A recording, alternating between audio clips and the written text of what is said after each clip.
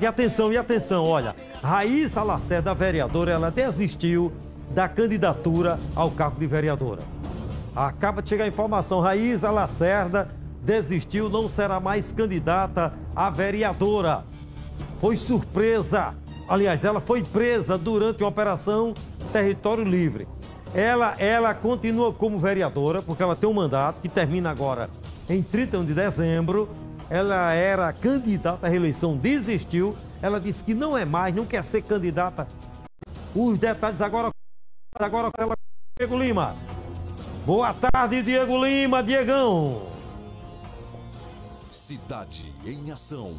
Boa tarde, Samuca. Boa tarde, Paraíba. Eu estou aqui no cartório eleitoral, onde foi protocolado na manhã de hoje o pedido de renúncia de candidatura da vereadora Raíssa Lacerda do Partido Socialista Brasileiro, o PSB.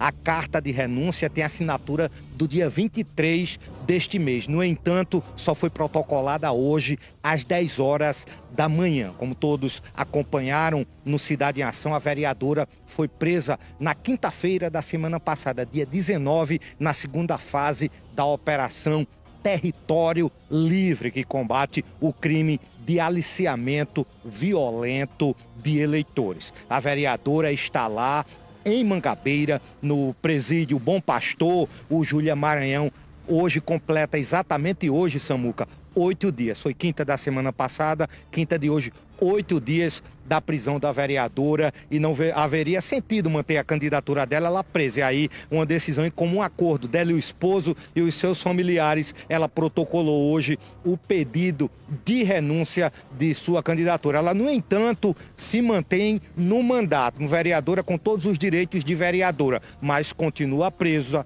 e não é mais candidata às eleições deste ano. Volto contigo. Outro detalhe, Samuca, houve um impasse também com relação ao magistrado que vai ficar presidindo o processo da vereadora da Operação Território Livre. Inicialmente estava a doutora Virginia Novaes, houve uma mudança ontem e passou aí para o juiz Adício Fabrício e hoje o TRE comunicou que o processo vai para a juíza Maria Lúcia de Fátima Ramalho, portanto, a nova relatora, é, aliás, a nova juíza, né, titular desse processo que investiga o aliciamento violento de eleitores aqui em João Pessoa. Volto contigo no estúdio.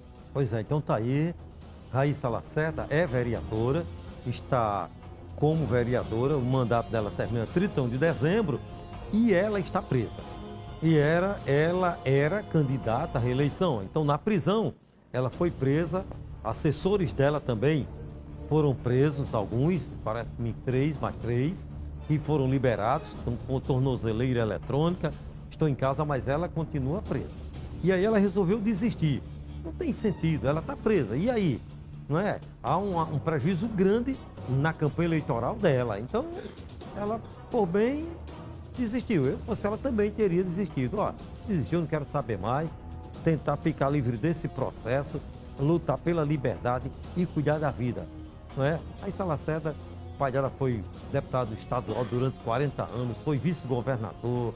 Ela é de uma família tradicional. Eu abandonava, meu irmão, chutava o pau da barraca, abandonava, não queria nem saber mais de política. Ia viver a vida, tem do que viver, tem, de uma família tradicional, pai dela deixou algo para ela sobreviver bem. Então eu abandonava, porque é pressão, meu compadre. Olha,